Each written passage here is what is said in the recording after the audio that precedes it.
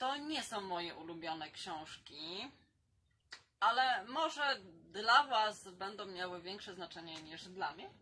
Mam je, bo mi się po prostu przytrafiły. Jak wiecie, książki kosmetologiczne po prostu kupuję.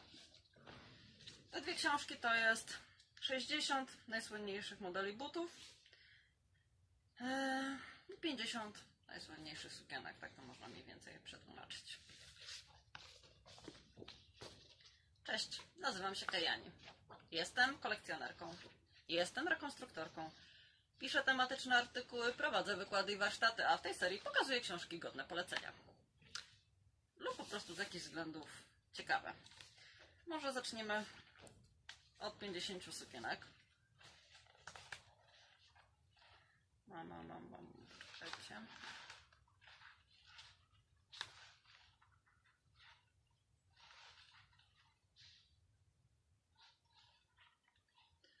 Jak widzicie, trochę ich jest, w sensie no, 50.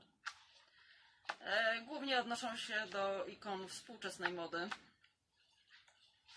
Printów, krojów, jakichś bardziej uznanych modeli od projektantów.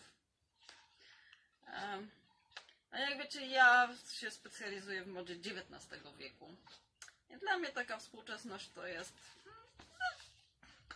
No wiecie, mam, to mam. Ale generalnie e, nie urywa wiecie czego. E, przynajmniej dla osób, które się interesują XIX wiekiem. Jeśli Was interesują vintage i moda XX wieku, to jak najbardziej polecam. Buty. Mniej więcej, jak widać. Podobnie.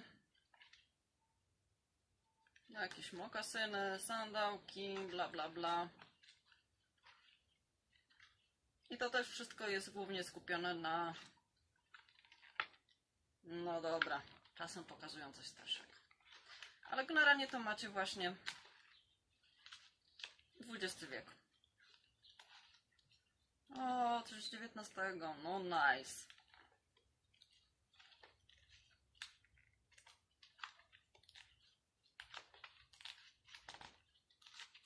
I tak jak w przypadku poprzedniej pozycji, to też jest głównie dla wielbicieli e, XX wieku. Ewentualnie dla wielbicieli butów, jak ktoś jest fetyszystą, to, to sobie może poczytać skądś, co, się niektóre, co niektóre modele się brały. Czyli